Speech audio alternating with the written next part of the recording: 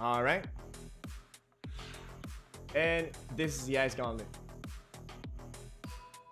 If you guys have any questions about this build, please go ahead and ask me in the chat. And more than likely, more actually, I will answer any question you have about this build. If you have, hey, why you picking this and why you're not picking that, I will tell you. I will tell you about that. Right? Here's the fire staff again, and uh, and yeah, that that that should be it right there.